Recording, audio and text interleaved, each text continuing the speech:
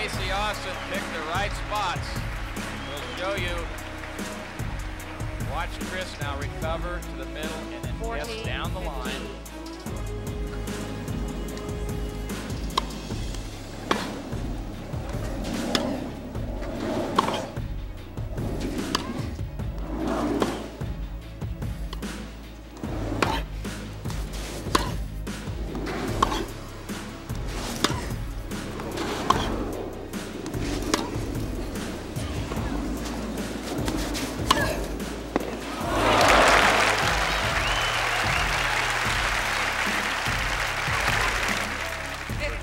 Match that we pick up tomorrow. But our coverage again begins at noon. Tracy Austin lost to Chris Evert at Wimbledon after she pulled off a couple of wins that nobody ever thought she would. And she's won once here, as you see her doing right now.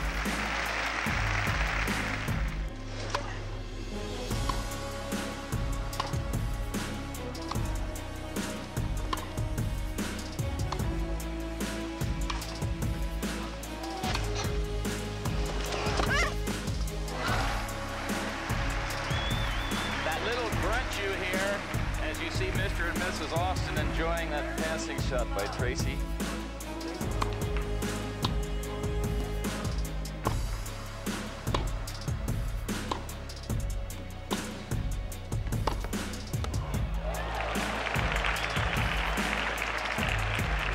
is very smart, very intelligent on the court. She knows when she puts someone in trouble.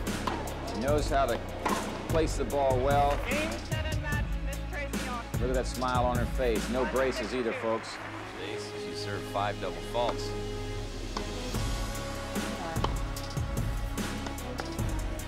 Trouble. Game, And Tracy Austin has held her serve. It's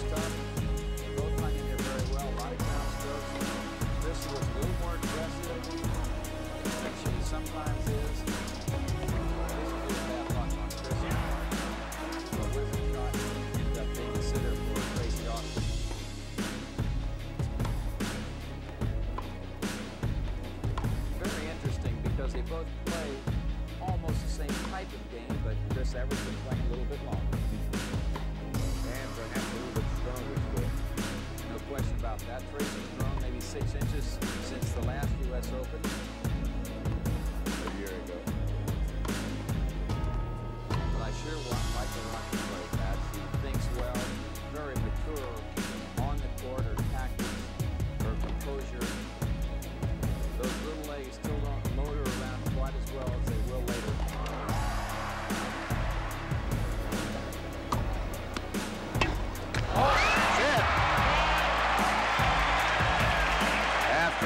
Those long rallies, what a simple way to end it.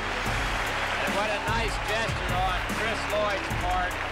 Shook her hand and patted her on the head to congratulate Tracy Austin, who is the youngest woman ever to.